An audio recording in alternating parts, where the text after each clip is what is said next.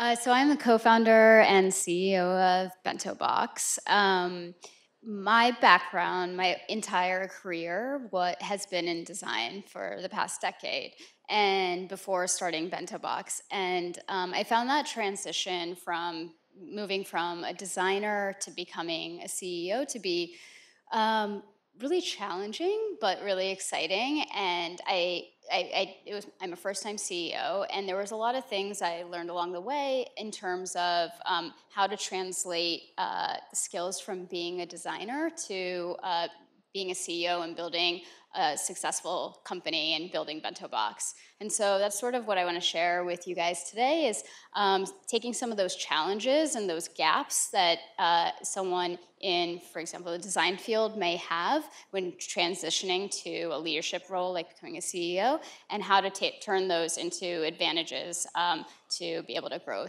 successful business. So just a little background on BentoBox. Um, we help transform restaurants into better businesses online. Uh, the way that we do that is through a connected suite of tools that's focused around their website.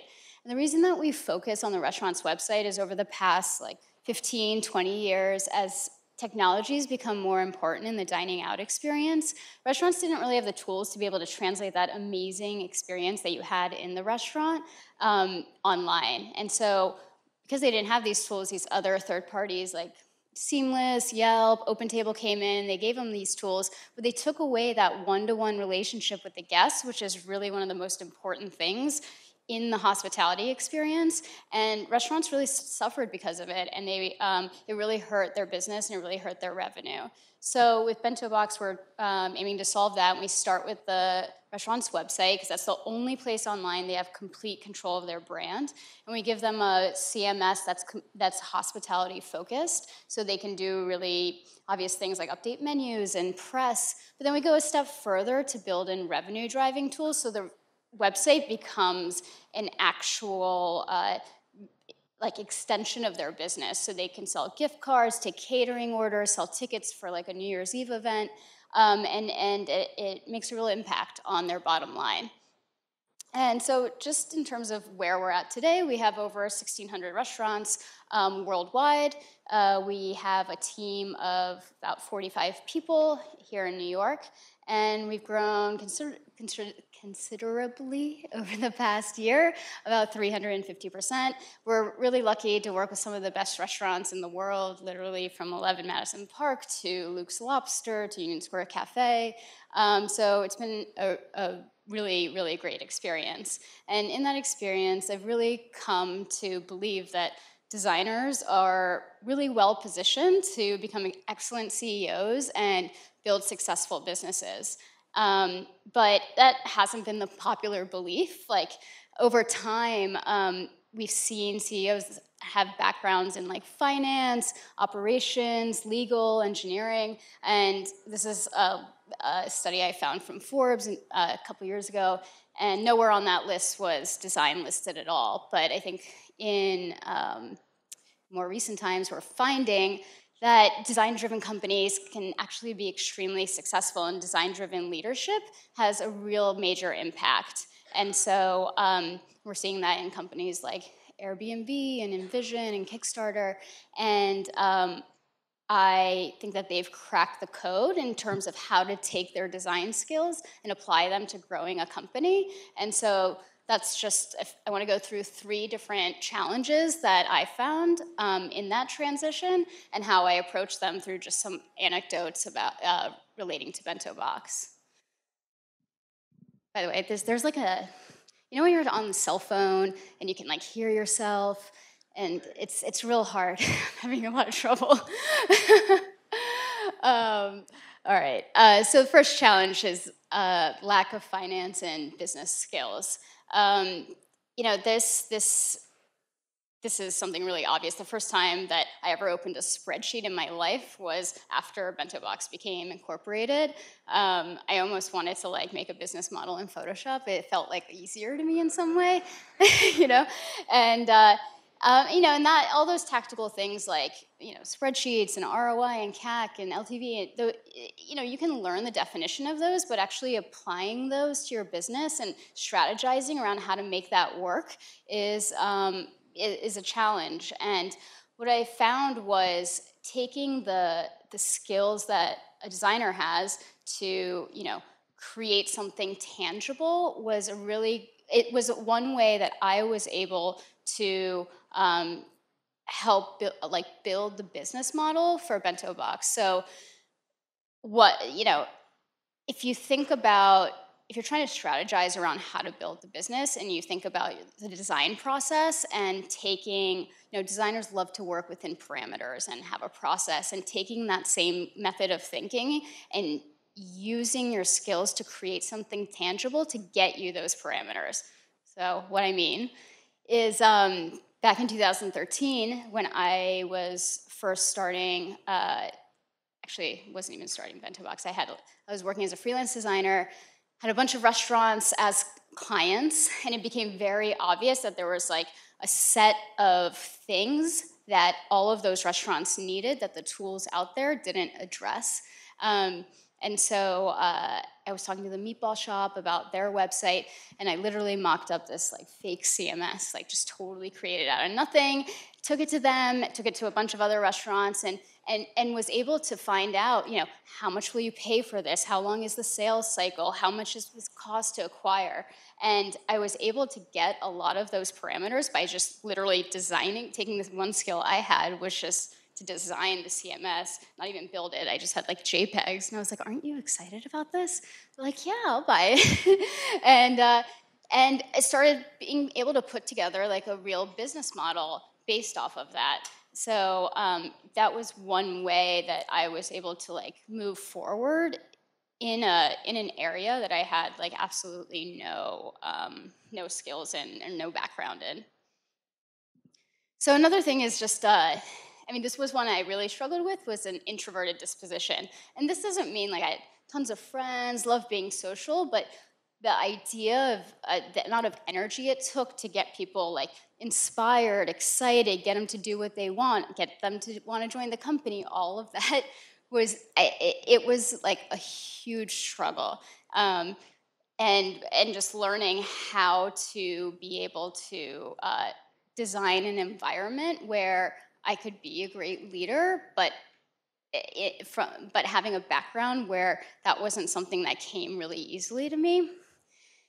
And so one thing that I leaned into was I just remember that design is really ultimately about people, about understanding them deeply, their motivations, and um, that that I could use that and design an environment where people would get excited and inspired, but it didn't have to come from me. So for example, um, every Friday we have uh, this all hands, and I do I say a few little things, but um, the major part of it is we go around the entire team and everyone thanks someone on the team, and they talk about one thing that they're proud or excited about, like proud of that they did or excited about that happened. And it gets everyone so pumped and i barely have to do anything and it's really awesome. And it really creates this culture that celebrates the team and it makes it more about them. And so i can get the same result that i was terrified of by being you know uh, uh, like an inspiring uh, motivating leader but actually getting my my team to do the work for me and i designed that. And so going back to like being able to like create that out of nothing is is and having those design skills to be able to design that became really really valuable. And the last part last thing is uh, that was a challenge is the idea of just being specialized in one thing and um, really being specialized in design and having sort of not narrow in a bad way but a very narrow specialized way of thinking. And uh, the requirement in transitioning to CEO was really like thinking exponentially larger than that. And that's really hard. And just uh, the, the go to was to focus on the details.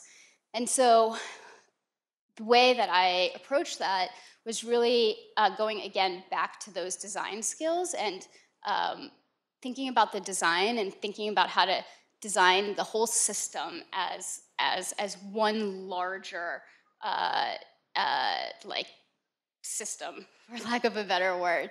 So I started approaching business problems and business issues the same way that I would approach design and being able to like break them down to, into smaller pieces and arrive at a strategy. So, for example, this is going to be a little tricky for me, so hold on. There we go. Thinking about our 2018 uh, strategy, you know, a couple months ago. And this is, this is a dashboard of a car because I was driving back from, or my husband was driving back from Thanksgiving. But I started just like on the yellow note cards, just started, or post-its, just started writing any insight I had about the business, an insight, a threat, just anything that came to my mind.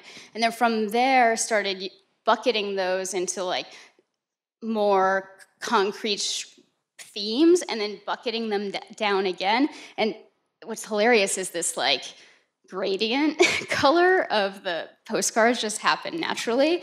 But what I was able to arrive at um, through that process was really the five things that we're focusing on as a company this year. Um, and that all came from that just doing a brain dump, which is really how I ended up would design, like just going through all of the different options and bucketing and bucketing and bucketing together to arrive at a more concrete strategy. And now everyone at our company, any decision that they're making for 2018 needs to meet one of these criteria.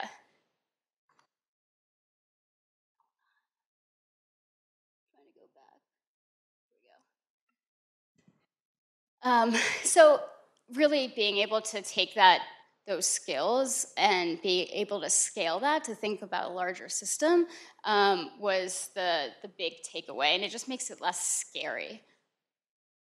And the one final thought I wanted to mention while I was up here about that transition from being a designer to being CEO is just making sure that really want it. And you know there's that desire to build like a great product that everybody loves and and people will use it. But you need to want to build that and grow it massively very quickly and efficiently. And all of those other parameters have to be just as important as designing a great product that people love. And you have to really own that. You can't think that you can do it without all those other considerations um, so I think just embracing that entire that all of those parts of like growing and running a business is just the most important part of it. And that's it. Thanks.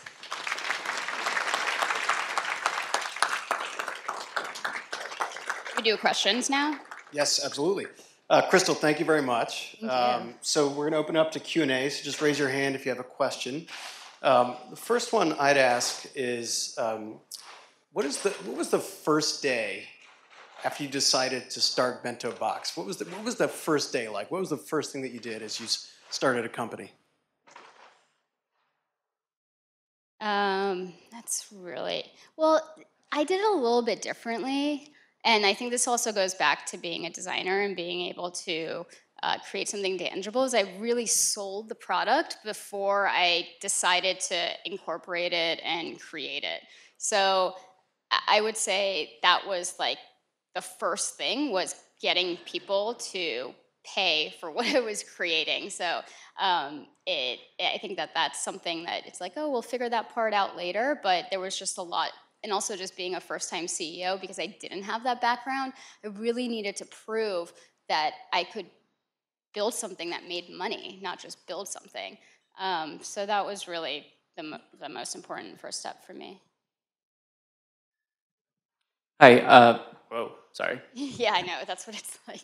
uh, can, you, can you talk about how you approach building a design team as a design CEO or as a designer and a CEO? Can you talk about how you built a design team? Yeah, I'm trying to think about the first designer we hired. Um, So we got we I think one thing that we're really lucky in being able to build the design team is that um, kind of have like a sexy thing we're designing for, you know, like food. People like restaurants, they love it, and so we, uh, so uh, really we're trying to get people that had the commercial skills, like agency type of commercial skills, um, that could make like really beautiful UIs, but then also have be able to have the you know UX UI skills um, to be able to work on the back end too, because we up until very, very recently, we haven't had like different template designers and different BentoBox marketing designers and different like U- UI UX designers. So um, being able to get people who have that whole set of skills it was really important. And um, I really I ran the design team up until maybe like three months ago, where one of our senior designers um, really stepped up, and he's been incredible, and and he's now running the design team. But I would say that up until like maybe a year and a half, two years ago, I was still designing sometimes just because it was just faster. I was just like, it was bad. Don't do that. Delegate. um, but I don't know. I don't think that was a really great answer, but hopefully, you know, it's good.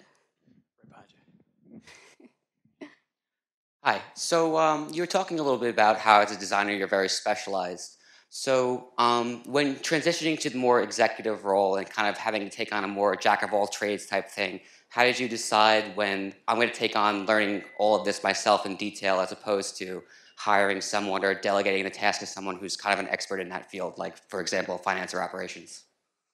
Yeah, I mean, to an extent, I needed to gain an understanding of every part of the business and i think that's important like i sold the product i did support i onboarded i when i i didn't put the financial model together from scratch but i was able to manipulate it if i needed to and so um, uh, I think that the delegation could really only happen once I had a firm understanding of what needed to happen.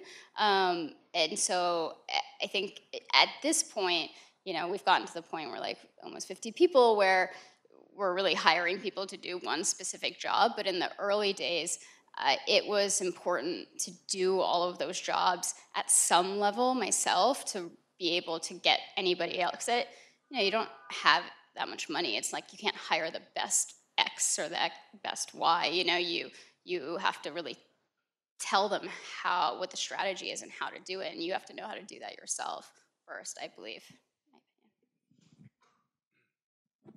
Hi there. Whoops. You had said that uh, you visualize your entire strategy. Mm-hmm. I was wondering if you could give an example of your process by pointing out to something you dealt with and how that visualizing, you know, came into use.